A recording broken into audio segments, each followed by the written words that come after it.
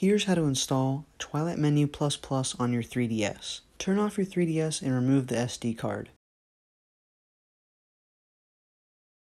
We'll put the SD card into our computer and I'll be using an adapter so my computer can read it. Download the file in the description.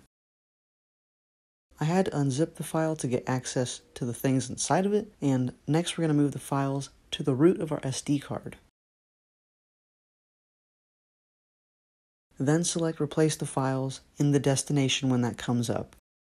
Once that's done, we're going to eject our SD card from our computer, put the SD card back into your 3DS, turn your 3DS on, and go to FBI.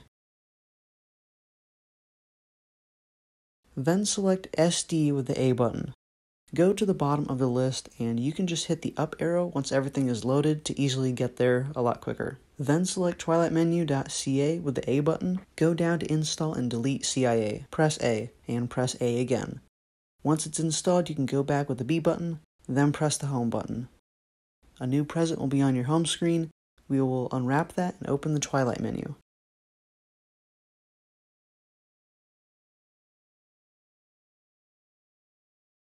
It will take a minute for this to load. It took me about two minutes. Then we're going to select our language and press A when you have your selected language. Select your region, mine being the USA. Once Twilight menu has loaded, go to the right until you hit the ROMs folder.